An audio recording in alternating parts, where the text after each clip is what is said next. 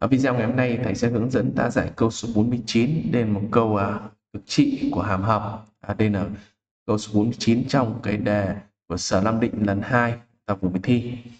Thì à, cái bài này thì à, nó liên quan đến cái hàm hợp à, cực trị hàm hợp và thầy sử dụng sơ đồ V.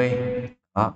Thì với cái bài này sơ đồ V chúng ta chú ý cho thầy đó là cách xác định cái hàm gốc của trong sơ đồ V mà cái biểu thức U. Đó ở đây rất là quan trọng cái việc là rất là quan trọng. Tức là chúng ta nếu như mà hàm gốc đơn giản thì hàm U sẽ phức tạp và nếu hàm U đơn giản thì hàm gốc sẽ phức tạp. À, bây giờ ta sẽ chọn cái nào là hàm gốc và cái nào là U đúng không? Thì ở đây thì thầy sẽ hướng dẫn ta là chúng ta sẽ chọn cái đơn giản này tức là cái khi mình vẽ này đó chính là hàm U.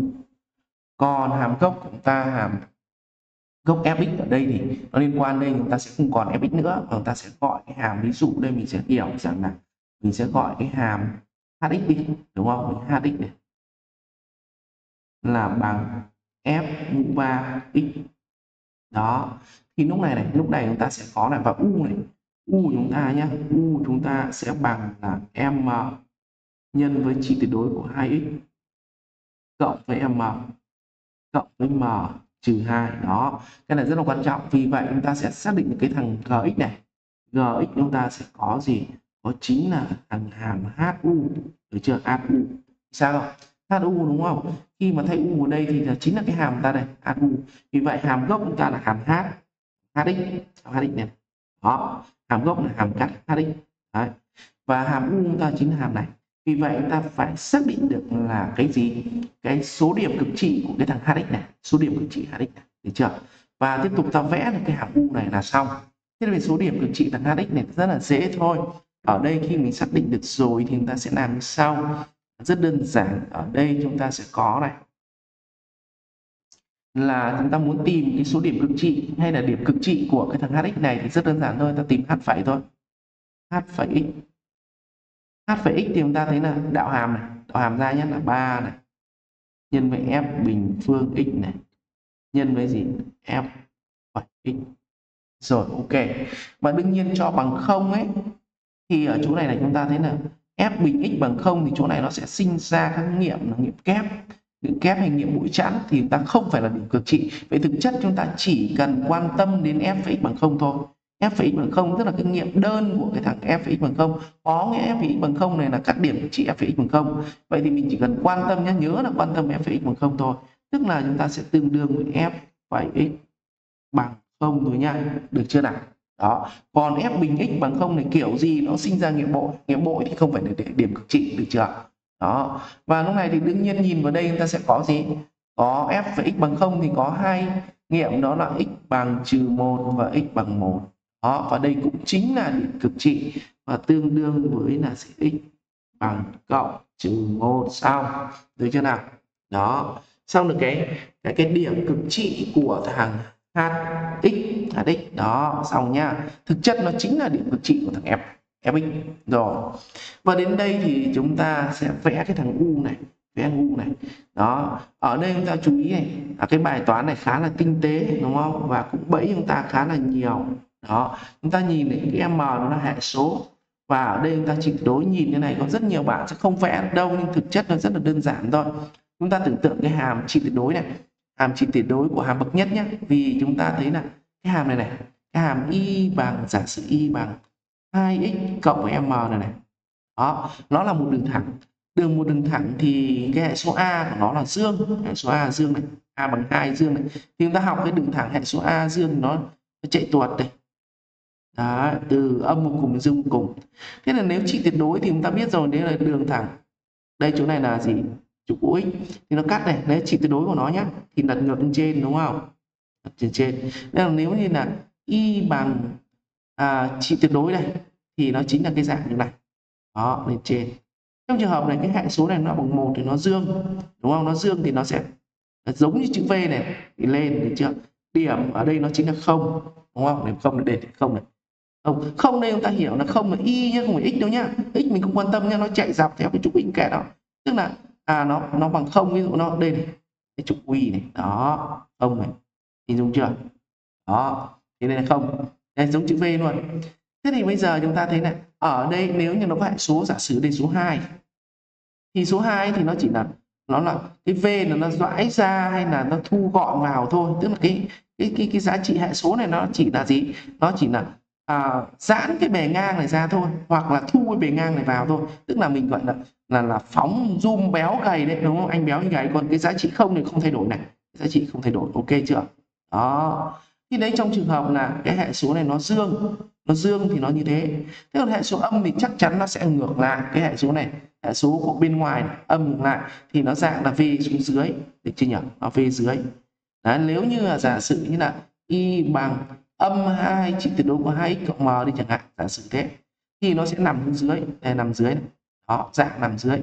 Ok vậy người ta thầy đã, đã nói thì người ta sẽ tí là thầy vẽ luôn cái dạng nó rất là dễ nhá rồi đấy thì ở đây mình thấy là m là mình xét hai trường hợp. Cái bài toán này khá là tinh tế lừa người ta. Nếu bạn nào không hiểu về sơ đồ v sẽ bị sai sai ở cái dạng của v đó. Thì bây giờ chúng ta sẽ có trường hợp thứ nhất này. Trường hợp một đấy. Trường hợp một này trường hợp một là m lớn hơn không? Ở đây mình xét m bằng không nhé giả sử m bằng không này m bằng không có được không? Này m bằng không thì thằng này u nó là hàng số. U là hàng số thì nó là một đường thẳng. À, f của một cái hàm số đường thẳng này thì nó không có cực trị nó bản thân của nó nó là một giá trị thì nó cũng không có cực trị cực đại đâu, không có cực trị đâu. Nên do đó mình không gì, mình không xét bằng không, mà bằng không thì thực chất nó là f mũ 3 của trừ 2 f mũ 3 trừ 2 thì nó là một giá trị, nó là một giá trị. Đây, đó f3 của trừ 2 trừ 2 nó nằm đâu đây, chỗ này? Nó bằng bao nhiêu đó? Thì là f mũ 3 ra, f f f trừ 2 ra, xong bằng bao nhiêu lũy thừa mũ 3 ra, thì chắc chắn nó là một giá trị rồi. Nó là một đường thẳng thì chúng ta sẽ không xét bằng không. Mình chỉ xét lớn hơn không và hoặc là nhỏ hơn không thôi, trường hợp một là lớn không, được chưa? Lớn không thì cái dạng u này, dạng u. Đó, dạng u này. Đây chính là dạng u nha đó. Thì nó sẽ như thế này. Được chưa? Đó, là chữ V này.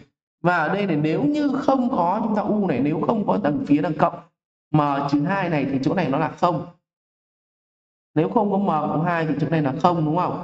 Nhưng nếu có m trừ hai thì chỗ này thực chất là không cộng với m trừ hai. Được chưa?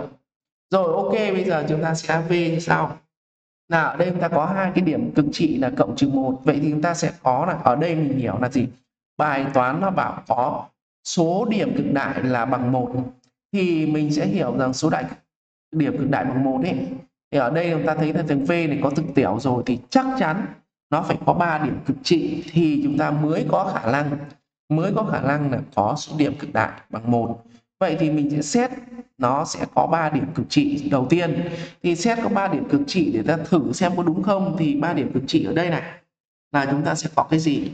À chúng ta sẽ có là đường thẳng x bằng một ở chỗ này. Đó, một đây một đây.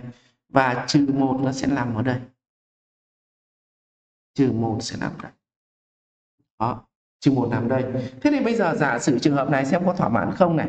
Và đương nhiên nếu chúng ta thấy là cái tầng trừ một mà nằm trên đây thì nó có 5 điểm cực trị. Và 5 điểm cực trị thì kiểu gì cũng có số điểm cực trị nó sẽ lớn hơn mấy? Nó sẽ lớn hơn, nó lớn hơn một đó, thì không được. Vậy thì nó chỉ có khả năng nếu thỏa mãn, chỉ khả năng trường hợp này thôi.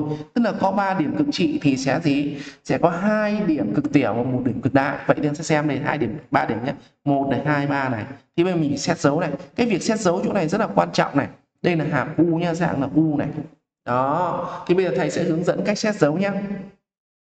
Mình nhìn xét dấu đây trước là xét dấu cả cái cục này nó chính là gx đúng không? Gx này. Đó thì nó có phải là bằng HU không? Đây thầy, thầy biểu diễn để chúng ta dễ hình dung xét dấu nhé. Thì ta sẽ có g phẩy x này. Thì bằng gì? U phẩy nhân với gì? H phẩy U. Được chưa? Rồi này. Thế bây giờ mình xét ở, ở từng miền một nhé. Cái miền này, cái miền ở vùng này, vùng này đi. Ở vùng ta đang xét này, xét một vùng thôi. Hôm qua đó thì mình đổi dấu này. Đấy, xét vùng đó nha. Thế khi xét ở cái vùng này thì chúng ta thấy, thấy thứ nhất này ở cái vùng này cái vùng này thì u nó đang đi lên. Đúng không? Đi lên thì chỗ này được gọi là đồng biến. Đồng biến ấy, thì tức là u phẩy của nó phải làm sao? U phẩy nó phải lớn hơn không? Đồng biến mà u đang đi lên đồng biến u phẩy lớn hơn không? Tức là chỗ này này. Lớn hơn không? Được chưa? Tiếp tục tiếp tục là ở đây mình xem là u này này. U soi một thì chỗ miền này này u là lớn hơn một. Đúng không? U lớn hơn một. Đây là miền này, này. ở cái miền ta đang xét đây này. Đây mình đánh dấu nhá. Đánh dấu chứ không phải dấu cộng đâu. Cái miền mình đang xét này đây cái vùng này cái vùng này. Đó. thì vùng này là u lớn hơn một. Thế tức là bây giờ h phải u với u lớn hơn một thì nó dương hay nó âm. Thì mình xem này. Thì nó giống như là h phẩy x với x lớn hơn một thì nó dương âm thì h phẩy ở đây này h phẩy đâu? Chúng ta vừa làm h phẩy này. H phẩy x thì bằng cụm này cụm này thì luôn lớn hơn không rồi đúng không? Thế là dương âm nó chỉ phụ thuộc vào thằng f phẩy x thôi. Dương âm nó chỉ phụ thuộc vào f phẩy x này chúng ta hiểu chưa? Đó. Vậy thì mình xem f phẩy x này với x lớn hơn một để nó dương âm là được đúng không? À, thì bây giờ chúng ta thấy là nhìn bảng biến thiên. Với x lớn hơn một là nằm vùng này đúng không? Và f phẩy của nó đây f phẩy đây vùng này nó là dương đúng chưa? Vậy thì chúng ta thấy rằng ở đây ở đây là với x là lớn hơn một thì h phẩy x ấy, là lớn hơn không với x lớn hơn một. Và tương tự chỗ này thế h phẩy u cũng lớn hơn không với u lớn hơn một. Vậy thằng này cũng lớn hơn không? Thằng này sẽ là gì? Lớn hơn không. Dương nhân với dương thì nó sẽ dương đấy cách xét dấu là như thế nhá ta nhìn sẽ nhanh đúng không? Đó vậy thì chúng ta thấy chỗ này. Ở miền này này. Đó. nếu như bài này hỏi về điểm cực trị số điểm cực trị rất là dễ nhưng mà điểm cực đại thì cần phải xét dấu. Thì chúng ta chỗ này sẽ là dương này. Đó qua điểm giải cái điểm mà bằng không thì sẽ đổi dấu là âm này âm này. Và đây là điểm cực trị của nó thì bên này nó sẽ là dương này và đây sẽ là âm này. Đó được chưa? Và như thế này chúng ta sẽ thấy là gì? À, âm là đi xuống đúng không? Âm là âm là nó sẽ đi xuống này. Đây đến đây này. Dương này đi lên này đi lên này. Không? Đến đây này. Đây chính xác đó. Thì mình vẽ là cái điểm này nó ở đây này. Điểm này nó ở đây này. Rồi âm lại đi xuống này. Để đi xuống này. này. Và dương thì nó đi lên này. Đó. Vậy thì đây chúng ta thấy có đúng một điểm cực đại thôi đúng không? Hãy là cực tiểu này. Đây cực đại này. Đây cực tiểu này. Đúng không? Đó. Thì chúng ta thấy là cái điểm này là điểm cực đại cực, cực đại à cực tiểu. Đây là cực đại. Và đây cực tiểu.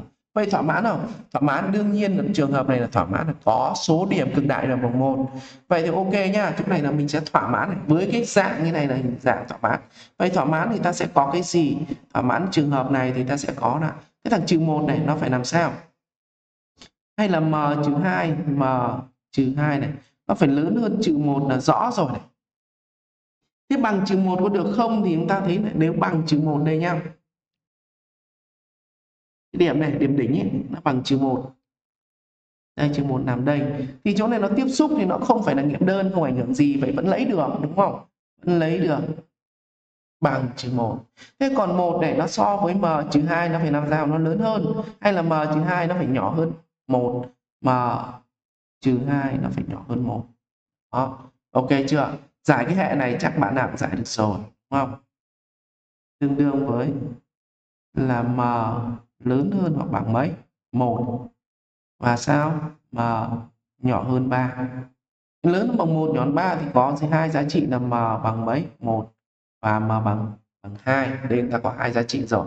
Hai giá trị được chưa? Hai giá trị m. Có thuộc cái cái đầu bài cho không? À đây rồi, thuộc rồi, đúng không? Đó, thuộc khoảng trừ 10 đến 20 rồi đến là trường hợp thứ nhất nha. Trường hợp thứ nhất mình được hai giá trị rồi. Ok chưa? Bây mình sang trường hợp số 2. Trường hợp số 2 đó là gì? Trường hợp 2 này. Trường hợp 2 là m là nhỏ hơn 0. M nhỏ hơn 0 thì dạng của u nó sẽ như thế này. Dạng u như này. Đó. Thế nên là u. Đấy. Và điểm đỉnh đây nó chính là gì? À điểm đỉnh đây chính là m trừ đi 2 cũng thế thôi, đúng không? M trừ 2 và đây chúng ta nhìn đây này nếu như quan sát đây thì ở đây nếu không xét gì về không xét về cái cái tương giao của một với trừ một với cái hàm u này thì ta thấy điểm đỉnh này chính là một cái giá à, cực trị của cái gì? À, cực trị của cái cái hàm u này cũng chính cả một cực trị của cái thằng gx và đây là chính là cực đại rồi. Thì chúng ta chỉ cần một cực đại thôi tức là chúng ta thấy là nó vô nghiệm đối với hai thằng này. Đấy, chúng ta sẽ hiểu rằng đây lúc này m trừ một này nó phải nằm ở đây. Và một đương nhiên nó nằm trên này rồi đó trừ một và đây là một đúng không? Vâng thì chỉ quan tâm đến trừ một thôi. Vậy trừ một nó có bằng thì chắc chắn là điều kiện đây là m trừ hai nó nhỏ hơn trừ một rồi đúng không? Thế bằng trừ một có được không? Thì khi bằng trừ một đây này thì chỗ này nó có nghiệm kép này. Đây, trừ một nằm đây. Thì nó có nghiệm kép ở đây thì cũng không ảnh hưởng gì này đó, cũng chỉ có một điểm cực đại thôi nha. Đó, thì bằng được này, chỗ này bằng. Đó. Và giải thằng này ra rất đơn giản thôi, m sẽ nhỏ hơn mấy nhỏ hơn bằng một. Đó, kết hợp m nhỏ hơn không. Và m thuộc đâu? Thuộc từ trừ 10 đến đến 20 thì chúng ta sẽ suy ra là gì? Trừ 9 nhỏ hơn bằng m, nhỏ hơn bằng gì? À bằng trừ 1 đúng không? Đấy, nhỏ hơn không mà vậy đây chúng ta sẽ từ trừ 1 đến trừ 9 thì có mấy giá trị? Có 9 giá trị. Đúng không nhỉ? Có 9 giá trị. Đó. Có 9 giá trị cộng 2 thì tổng nó sẽ bao nhiêu? Mà tổng ta là 9 cộng với 2 là bằng 11 đó 11 ok chưa? Bằng 11 9 cộng 2 11 sẽ có đáp án không? Đây là có đáp án C. Đúng không nhỉ? Đó, đáp án C. Đấy, thì đấy là sơ đồ V của chúng ta đấy đấy.